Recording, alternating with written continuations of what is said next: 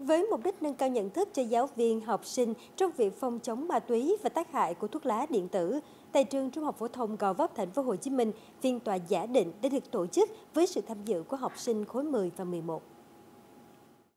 Qua tình huống giả định sát thực tế, nội dung thể hiện sinh động để giúp các em học sinh cùng những người tham dự phiên tòa nhận thức rõ các hành vi sai phạm, từ đó nâng cao ý thức và hình thành chuẩn mực ứng xử. Con thấy được những cái hậu quả và con sẽ có được những cái cách phòng chống nó một cách tốt hơn.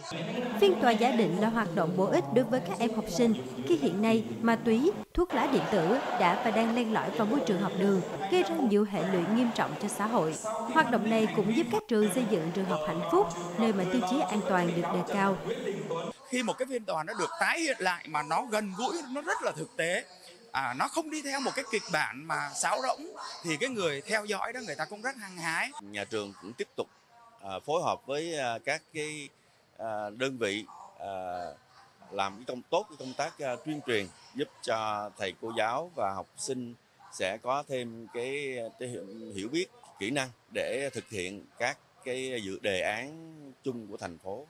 Từ phiên tòa giả định, không chỉ học sinh mà cả vai trò của giáo viên chủ nhiệm được tập trung đẩy mạnh nhằm kịp thời phát hiện biểu hiện thất thường của học sinh, phòng ngừa sớm các hành vi phạm tội.